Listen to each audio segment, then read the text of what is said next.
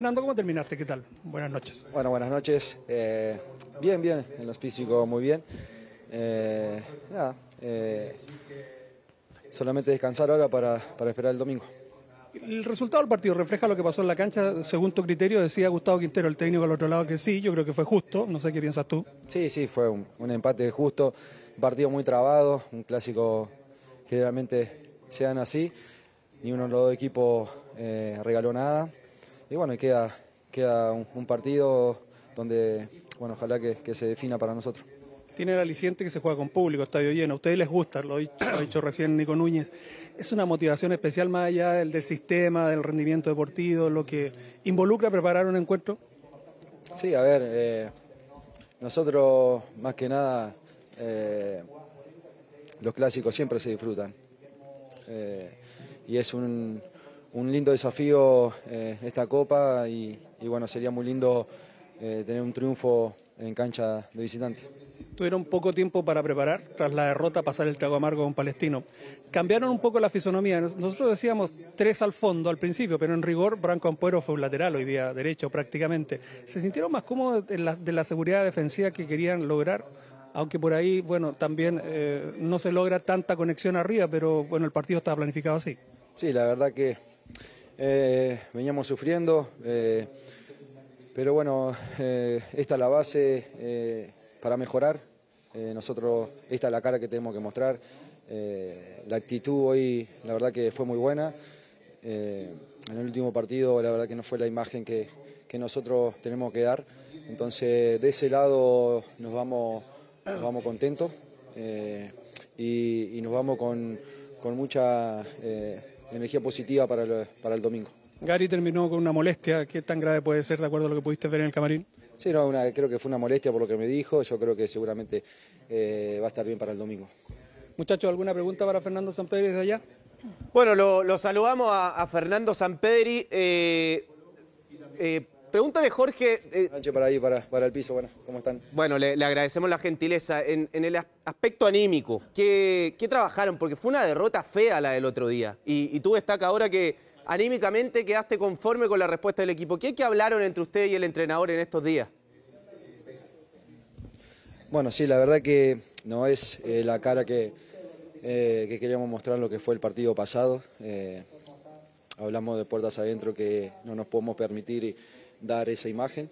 Eh, la, la base para, para conseguir cosas y para mejorar es la de hoy. Eh, no se hizo un gran partido, eh, yo creo que los dos equipos estuvieron parejos, pero la entrega es la de hoy. Fernando eh, Vichy, eh, da, la, da la sensación de que si bien tenés dos jugadores rápidos como Monte y Tapia por los costados, eh, te llegan muy, muy pocos centros, o sea, no te llega ni centro alto ni centro bajo a veces para empujar. Eh, ¿Eso te, te hace sentir un poquito huérfano en, en- en delantera? Hola Vichy, ¿cómo estás? Eh, nada, bueno, son, son jugadores que, que pueden determinar un partido quizás con su velocidad. Eh, hoy el partido estuvo muy apretado, no, general- no, no pudieron sacar su, su ventaja, pero, pero bueno, ahí Gonzalo en una, en una ocasión yo creo que le gana muy bien en defensa y, y tiene una ocasión de gol. Yo creo que si controlaba por ahí era, eh, era, era otra jugada, pero bueno, decidió patear de primera. Pero son extremos y, y bueno, eh, en, en algún partido que, que ellos puedan sacar la ventaja, seguramente me van a llegar más ocasiones de gol a mí. Fernando Marcelo Vega por acá. ¿Qué, eh, qué cambio de voz, gordo? sí, ¿Qué es que cambio? llegué así después del cumpleaños. El primer tiempo sale, un- sale un equipo muy defensivo. Esto es producto de lo que se habló la semana, producto del resultado con Palestino. ¿Por qué te, por qué te pregunto? Porque el segundo tiempo fue diferente al primero. Salen un poco más arriba, tuvieron un par de ocasiones claras. Pero el primer tiempo llama la atención. O sea, una católica que cuesta verla jugar así, muy defensiva. qué, qué dúo igual ese, el que me- lo último que me hablaron, ¿eh? Eh, eh, feliz cumpleaños ahí para, para él. No, eh, como dije, eh, la cara que, que mostramos eh, no es eh, la ideal eh, y no es la que queremos transmitir para, para- para nosotros. La verdad que quedamos muy, muy en deuda con, con nosotros mismos, con, con la institución, con la gente en el partido contra Palestino. lo hablamos puertas adentro, eso no puede volver a pasar.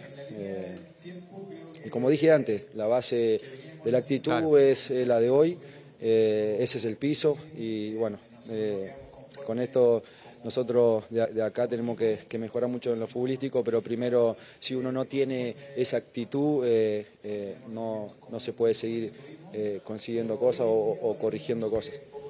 Hola Fernando, ¿cómo estás? Pasa por acá, un gusto saludarte. te amplío un poco la mirada al campeonato. Eh, empataron con Cobresal como visitante, hoy Colo Colo, eh, que también está peleando el título, no pudo ganarle, falta partido de vuelta. Pero has mencionado que, hay cosas del juego que todavía no es lo que quieren reflejar en cancha. ¿Por dónde pasa? ¿Dónde está el equilibrio? ¿Todavía aspiran al título? ¿Lo ven muy lejano? ¿Ven que hay algún equipo que se disparó o, o todavía deambula todo en una zona de irregularidad? ¿Cómo lo ves? Bueno, eh, ese, es, el problema que tuvimos, que no, conseguimos un equilibrio, ni en lo futbolístico, eh, ni en lo, emocional tampoco, entonces eh, pasan de tener los equipos estos bajones, donde por ahí la confianza no, está, y, bueno, pasa lo que pasó el otro día con, Palestino, que fue una cara muy mala la que mostramos, pero, pero bueno, como dije, como dije recién, eso lo hablamos puertas adentro, no podía volver a pasar, no va a volver a pasar.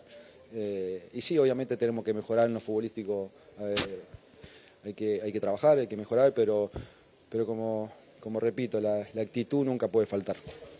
Hola Fernando, buenas tardes, gusto en saludarte. Te, habla Verónica acá del panel. Te quería consultar por el partido de vuelta el próximo domingo. Eh, probablemente no sea una, cancha tan fácil de jugar, se, pronostican lluvias para el fin de semana. Eh, ¿cómo, anticipas ese encuentro considerando que Colo Colo va a poder disfrutar de, su público, de la hinchada, que es algo que, la verdad es que es, bastante esquivo últimamente en el fútbol chileno? Colo Colo sí va a poder estar con, su gente el domingo. ¿Cómo analizan eso, el hecho de, llegar... Eh, con un partido totalmente abierto por el resultado de hoy, pero colocólo con ese plus de la hinchada. Y te quería consultar también si se habló en la interna, después del pitazo final, del tema del arbitraje de hoy. Eh, bueno, la verdad que bueno que la cancha de hoy está difícil para los dos, sabemos que no está en buenas condiciones. Eh, el domingo va a ser un lindo marco donde va la cancha va a estar mejor.